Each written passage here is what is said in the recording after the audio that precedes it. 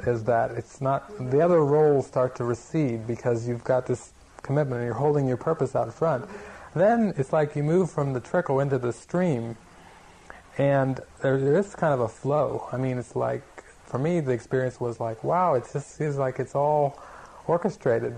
And we've all had glimmers of that in restaurants and here and there and grocery stores. But then, as the commitment grows, then it's like you're you're being carried along you know, on a stream, and it seems like a pretty quick stream. And then you, before you know it, you find yourself in the river.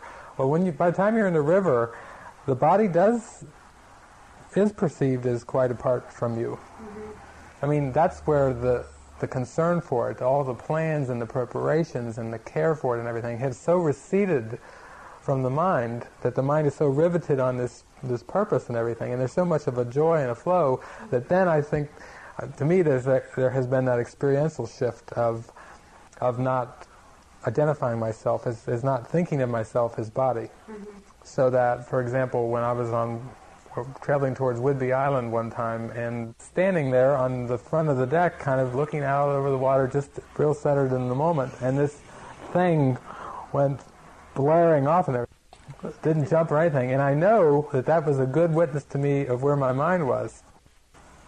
Things flying at you or sharp things going off or temperature extremes or whatever, that all just becomes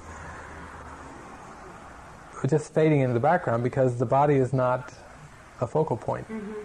It's more like a pencil.